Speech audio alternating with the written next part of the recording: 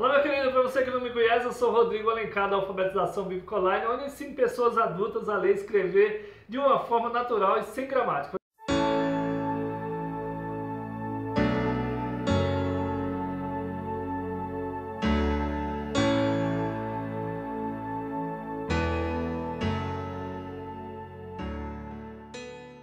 Para você que está visitando pela primeira vez, seja bem-vindo, receba o nosso abraço e o nosso carinho. Também desde já quero pedir você para nos ajudar, né, fazendo o seu comentário, compartilhando, curtindo. Se inscreva no nosso canal e você ficará por dentro de todo o nosso conteúdo. Essa revista é do segundo trimestre, nós estamos agora em 2020. O título dessa lição é Igreja Eleita, Redimida pelo Sangue de Cristo e selada com o Espírito Santo da promessa. Essa revista é uma revista da CPAD, estudo para adultos, e agora nós alcançamos a lição de número 12. Estamos chegando no final já desse é, segundo trimestre. Veja só, e essa lição de número 12 tem o título também A Conduta do Crente em Relação à Família. Então, uma benção, queridos. Falar sobre a família não tem coisa mais gratificante. Diz aqui o textual, que nós chamamos o texto de ouro, que se encontra na carta aos Efésios, você pode também chamar de epístola, né? Capítulo 5 e o versículo 31, onde o apóstolo Paulo diz assim: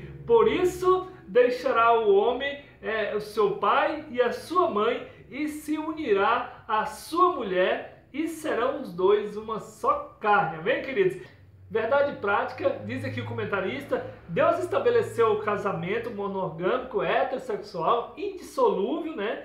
Isto é, a instituição da família para a glória do nome dele, né? do nome do Senhor. Os versículos-chave para a leitura bíblica em classe se encontra na carta aos Efésios, capítulo 5, e o versículo 21 ao 33, também na carta aos Efésios, capítulo 6, e o versículo de 1 a 4. Nós não vamos estar lendo para o vídeo não ficar muito longo, mas você pode estar lendo na sala de aula aí com seus alunos. Que o Senhor Deus o abençoe a cada um, dando graça, sabedoria e entendimento em nome de Jesus. Objetivo geral, diz aqui o comentarista, veja só, mostrar que o relacionamento harmonioso está incluído no projeto divino para a família cristã, né? Então nós vemos aqui os objetivos específicos são três, né? E aqui o primeiro tópico diz aqui o comentarista refletir sobre a conduta bíblica prescrita aos maridos, né? Nós vamos falar né, sobre os maridos, incluídos aqui é, cristão é, é, é, na palavra do Senhor. E o segundo tópico diz aqui demonstrar como a mulher casada é comparada à igreja de Cristo. Nós vemos aqui o terceiro tópico, orientar a conduta dos pais e filhos no ambiente familiar. Então, essa revista nós não podemos perder, porque está uma benção. Aqui no ponto central diz aqui o comentarista, o relacionamento familiar é um projeto divino, queridos. E aqui na introdução também o comentarista ele diz aqui na Bíblia, o relacionamento familiar é um projeto divino né, que pressupõe o matrimônio monorgâmico, heterossexual e indissolúvel. Ele deixa aqui também né, é, é uma referência na palavra de Deus, Mateus capítulo 19, o versículo 4 ao versículo 6. E ele diz aqui, no modelo divino, né, os membros da família são iguais, porém, cada um desempenha papéis diferentes.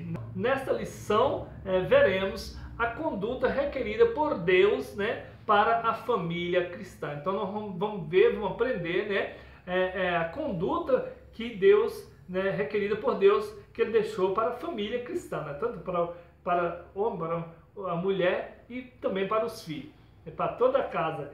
Veja que o primeiro tópico diz aqui o comentarista, a conduta do crente como marido. Veja só, ele diz aqui no primeiro subtópico o papel do marido como líder da família. Queridos, aqui é, o capítulo 5, Paulo enaltece o matrimônio né, e o leva ao mais alto patamar a comparar o marido é, é, a Cristo. Né? Olha só, está comparando o marido como a, a, Cristo, né? Fazendo essa comparação, e a esposa a igreja. Então, é muito, é um patamar bem alto mesmo. Né? Nesse tópico estudaremos a analogia referente ao marido. E ele diz aqui, o primeiro subtópico, nós já lemos aqui o papel do marido como líder da família. Ele diz aqui então, na Bíblia, a ordem autoritária é observada do seguinte modo. Veja só, deixa aqui, né? Deus é o cabeça de Cristo, né? E ele diz que também Cristo é a cabeça do homem e diz também que o homem é o cabeça da mulher. E aqui em 1 Coríntios, né, que é a referência, capítulo 11, versículo 3, ele continua, a relação dentro do lar é explicada na frase: o marido é a cabeça da mulher, como também Cristo, cabeça da igreja. Efésios capítulo 5, versículo 23, ele diz aqui, a Bíblia, ela mostra, diz aqui, é, o modelo do relacionamento do casamento cristão. Isto é, o marido deve liderar a sua casa do mesmo modo como Cristo lidera a igreja, visando o seu absoluto bem-estar que ele diz aqui, Efésios capítulo 5, versículo 29, ele, aqui é necessário né, ressaltar uma questão importante. Vamos ver essa questão importante que o comentário diz aqui. Veja só, o movimento feminista com viés neomachista, né, é, diz aqui, considera esse modelo de família como um sistema opressor do homem contra a mulher. Então essas mulheres que têm né, aqui as feministas, né, elas consideram como se fosse né, é, um sistema é, opressor do homem sobre a mulher. Então, segundo subtópico, o amor como elemento primordial. O amor na família, no casamento, no relacionamento, na igreja é primordial, não pode faltar. Né? Nós vimos lá na outra aula falando sobre que é, Deus ele é amor, né? E o, o cristianismo é fundado, ele é, a base do, do, cristianismo é o amor. Nós vimos lá Jesus Cristo ensinando, né? Não só é, mostrando como fazer, mas ele mesmo praticou o amor, né? Para com os seus discípulos ali lavando os pés. Então nós vimos aqui o, o marido, além de líder, deve também amar a sua esposa como Cristo amou a igreja. Efésios capítulo 5, versículo 25, ele diz que isso implica a prática de sacrifício, como diz as escrituras, né? Cristo amou a igreja a si mesmo se entregou por ela. Queridos, então nós vemos que Cristo, né, ele amou tanto a igreja. Como que é esse amor do marido pela esposa? É de entregar por ela. Aqui, de acordo com a palavra que está fazendo, Paulo está fazendo essa comparação do marido com a esposa como Cristo e a igreja, então nós vemos aqui que Cristo se entregou por ela, deu a vida né, pela igreja. Assim, dizendo aqui, é, o amor de Cristo para com a igreja foi altruísta né, e incondicional. Olha só, é, é, é um amor incondicional. E ele diz aqui em Romanos capítulo 5, versículo 8, e assim a igreja foi atraída para Cristo, veja só, por meio do amor, e não por ameaças ou, ou imposições autoritárias. Veja aqui, Evangelho de São João, capítulo 15, e o versículo 12 é, e 13. Continua. Desse modo, né, os maridos devem também manter a união e a harmonia conjugal por meio do exercício do amor. Então, aqui o apóstolo Paulo ele deixa é, que uh, os maridos têm que manter né, essa união conjugal por meio do exercício de quê? Desse amor. Amém, querido? Terceiro subtópico, cuidado do marido à esposa. Veja só, querido, aqui nós vamos nós estar aprendendo esse cuidado do marido à esposa, que o apóstolo Paulo nos ensina, né, nos deixa aqui, de acordo com a palavra do Senhor, como que nós devemos né, é, amar, cuidar da, da esposa. Diz aqui, as escrituras enfatizam que a esposa é a parte do marido, ao declarar quem ama a sua mulher ama a si mesmo, né? Então, se é a parte do corpo, né? Quem ama é, ao seu corpo ama a si mesmo. Então, a mulher faz parte do corpo, então você que ama sua esposa vai estar é, amando como ama a si mesmo. E acrescenta ainda que toda pessoa mentalmente saudável cuida do próprio corpo. Efésios capítulo 5, versículo 29. E ele continua, e o que significa que o marido deve dar atenção à sua mulher né, do mesmo modo que atenta para consigo mesmo. Então, de acordo com que você ama seu corpo, se você ama seu corpo, você vai cuidar dele. Então, a mulher faz parte do corpo, e se você, é, então, tem que manter esse cuidado, né? Isso implica proteger a esposa e prover-lhe uma vida digna. E ele continua: essas ações de cuidado não se limitam apenas às provisões materiais, veja só, mas igualmente ao afeto e à consideração, honra, dentre de outras. Então nós vemos aqui, né, tal demonstração de amor deve ser sincera, tanto em público quanto em particular, de modo permanente enquanto ambos viverem. Então, Mateus capítulo 19, versículo 6 e Colossenses 3, versículo 19. Então, se você é, cuida né, com esse carinho, porque Cristo a todo momento ele cuida de nós, né? E então o marido que cuida da esposa não só é, é, é, é em, em, casa em particular, mas também em público, onde estiver, né, tem que estar tendo esse cuidado, esse carinho, esse respeito. Bem, queridos? Síntese do tópico 1, o resumo do tópico 1 diz aqui, ao marido Deus delegou a liderança do lar e o dever de amar sua esposa com verdadeiro altruísmo. Bem, queridos? Glória a Deus. Então, lá, querido, dando continuação aqui, o, segundo tópico é a conduta da crente como esposa. Quer dizer, a conduta da mulher crente, né, é, como esposa, né, de acordo com a carta que Paulo escreve ali aos Efésios. Veja só aqui o primeiro subtópico, o conceito da submissão cristã. Esse conceito da submissão cristã de acordo com a palavra do Senhor, né? De acordo com a analogia paulina, ele diz aqui, em relação ao matrimônio, veja só, a mulher casada é comparada à igreja de Cristo. Isso é maravilhoso, né? Essa comparação, quando a mulher né, é, está é, andando de acordo com a palavra do Senhor, ela é comparada com a igreja de Cristo, né, a esposa. Nesse ponto, veremos a conduta requerida da esposa cristã. Primeiro subtópico, o conceito de submissão cristã. Veja só, as escrituras ensinam a sujeição de uns aos outros no temor de Deus. Quer dizer, esse casal, né, esse matrimônio, né, esposa, marido e filhos tem que é, essa sujeição é no temor de Deus. Deixa aqui referência, Efésios 5, 21.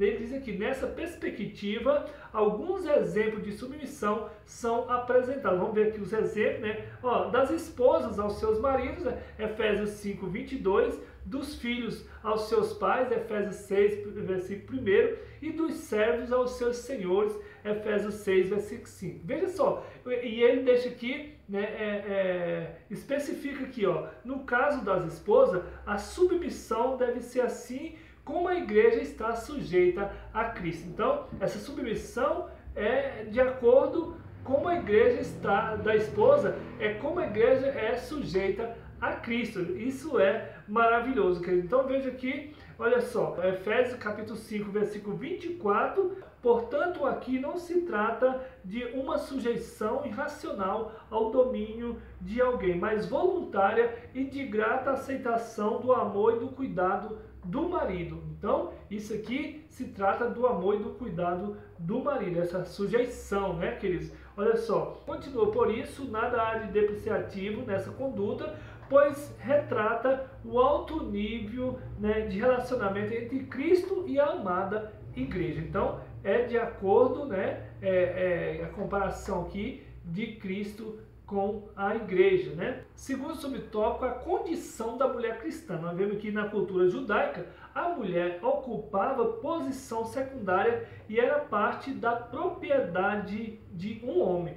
Veja só, era como se fosse parte de uma propriedade, né? Gênesis 31, versículo 14 e o versículo 15. Veja só, que na sociedade grega, as mulheres eram tratadas como inferiores e as esposas eram escravizadas. Mas olha só, queridos, no Evangelho de Cristo, né, as mulheres alçaram posição de dignidade igual aos homens. Glória a Deus. Gálatas capítulo 3 e o versículo 28. Veja só, ao conversar né, com a mulher samaritana, Cristo quebrou paradigmas da época e se opôs a preconceito e discriminação. Lá no Evangelho de São João, capítulo 4 e o versículo 9 e o versículo 10, onde Cristo está falando com a mulher samaritana, onde que ele era judeu e a mulher samaritana, e, e o samaritano não poderia né, estar conversando com os judeus. E diz aqui então, portanto, a mulher cristã desfruta de plena liberdade em Cristo e não está sujeita a nenhum sistema de escravidão. Gálatas capítulo 5 e o versículo 13. Glória a Deus. Terceiro subtópico, reverência devida ao marido. Veja só, o amor do marido para com a esposa deve ser altruísta. Efésios 5, 25. O amor serve ao propósito divino de capacitar a esposa a ser recíproca ao seu marido, né? Tem essa referência também, Efésios 5, 22. E ele diz: O homem que assim se porta coopera para que a esposa se reverencie, né? Porque se ele tratar com esse carinho e dentro do temor de Deus, né? A esposa então vai se reverenciar a ele. Aqui tem também outra referência, Efésios 5, 33. É, ele continua, essa reverência né, consiste em estima e respeito para com seu marido. Veja só, denota o sentimento que conduz a esposa a agir de modo a agradar o seu amado. Então, essa postura é demonstrada quando ela o apoia e o ajuda em sua tarefa de lidar. Né? Aqui também um está ajudando um ao outro. Significa que a esposa participa das decisões em família, porém não procede como opositora nem desautoriza a autoridade de seu marido. Então aqui um concordando com o outro, né, com temor e o amor em Cristo Jesus. Amém, queridos? Síntese do tópico 2, o resumo do tópico 2 diz aqui: a esposa, Deus delegou a tarefa de respeitar a autoridade do lar conferida ao seu marido. terceiro tópico, a conduta do crente como filho. O primeiro subtópico, a responsabilidade dos pais. Né? Todo mundo aqui tem a responsabilidade. Olha só, aqui na carta aos Efésios, Paulo né, não deixou ninguém de fora. Né? Os pais devem criar seus filhos na doutrina e da demonstração do Senhor. Quer dizer, os filhos têm que ser criados né, na doutrina e demonstração do Senhor. Tanto o filho, o pai já tem que ensinar o que ele aprendeu, o que ele vive também, né? Efésios capítulo 6 e o versículo 4 diz, a palavra doutrina ou disciplina do grego paideia significa orientação ou treinamento para o desenvolvimento do caráter e a pronta obediência das normas. Veja só, queridos, já a palavra, a demonstração do grego anotesia, que quer dizer instrução ou advertência, que faculta né, a distinção entre o mal e o bem. Veja só.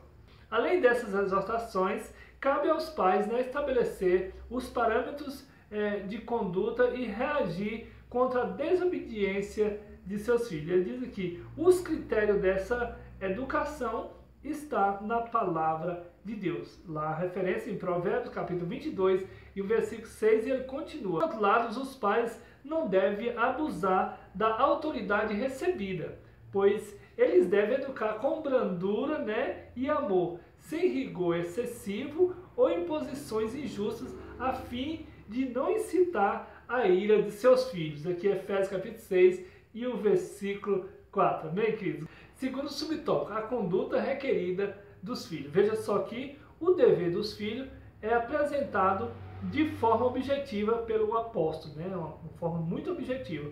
Vós, filhos, sejam obedientes a vossos pais. Efésios capítulo 6 e o versículo 1. A explicação para essa postura é categórica, olha só, ele diz aqui, porque isto é justo. Efésios 6, versículo 1 e ela segue a ordem natural divinamente estabelecida, pois Deus deseja né, que os filhos confiem na sabedoria de seus pais. Lucas capítulo 2 e o versículo 51. Para ratificar esse ensino, o apóstolo cita o quinto mandamento. Olha só, honra teu pai e a tua mãe. Queridos, nós temos, né, ensinar os nossos filhos, e nossos filhos têm que aprender a honrar pai e mãe, né? Veja só, Efésios 6, versículo 2, né? E Êxodo 20, versículo 12. Assim, os filhos devem obedecer e honrar seus pais, né?